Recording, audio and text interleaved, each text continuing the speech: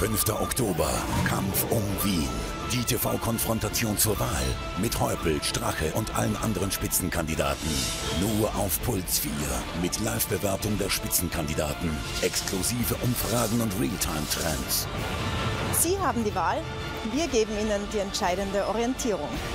Kampf um Wien. Die Konfrontation nur auf Puls 4 mit Live-Bewertung der Spitzenkandidaten. Am 5. Oktober 20.15 Uhr Puls 4.